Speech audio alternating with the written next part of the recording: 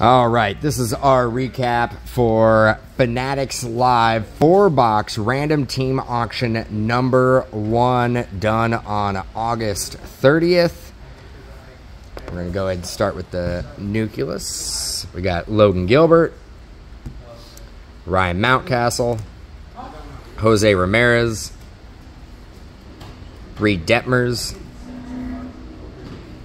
Nestor Cortes, and Eugenio Suarez.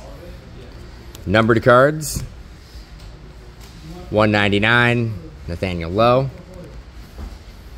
Cedric Mullins, Starling Marte. numbered to 99, JJ Bleday, Francisco Lindor. Number to 75, Oneil Cruz.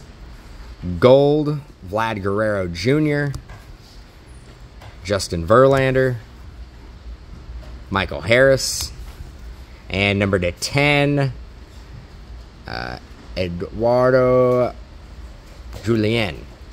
Eduardo Julien to 10. And autographs. Got a DL Hall and an orange refractor to 25, Oswaldo Cabrera. All right, that is our recap for our four box random team auction number one, Cosmic Chrome, done on Fanatics Live on August 30th.